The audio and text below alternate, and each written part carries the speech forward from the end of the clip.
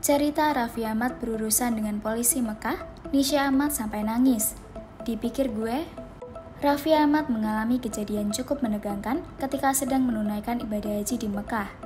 Ia sempat ditegur oleh askar hingga polisi saat sedang berada di sekitar Ka'bah. Sebagai informasi, askar merupakan pasukan keamanan yang berada di Masjidil Haram. Pasukan ini bertugas untuk menjaga ketertiban dan kenyamanan para jemaah haji maupun umroh. Melansir dari unggahan kanal YouTube Rans Entertainment pada Kamis 13 Juni 2024, awalnya Raffi Ahmad menceritakan bila dirinya dan rombongan melakukan tawaf sunnah bersama-sama usai subuh.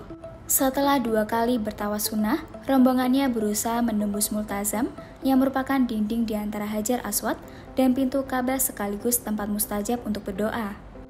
Gue juga niatnya, udahlah yang penting ibu sama adik-adik gue, pokoknya kita tahu sunnah, Sambil tawa sunnah, langsung masuk. Ini sama cowok-cowok, kata Raffi.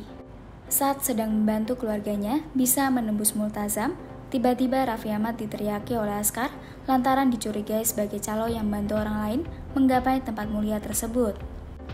Pas gue masuk askarnya, taksi, taksi. Jadi ternyata katanya ada taksi. Taksi itu calo. Nono taksi.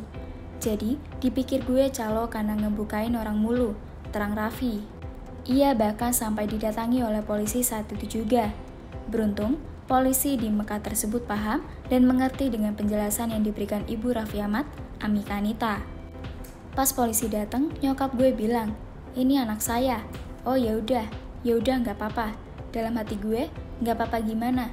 Gue jadi mundur lagi, ucap Raffi. Akibat kejadian tersebut, Raffi Ahmad belum sempat menyentuh multazam. Kendati demikian, ia tak keberatan yang terpenting, keluarganya sudah berhasil ke Multazam. Kalau tadi, yang penting Mama Ami, Mama Rita, Gigi, Nisha, Nana sudah dapat Multazam. Ya kalau cewek-cewek mah mereka pengennya di Multazam. Bebe Raffi.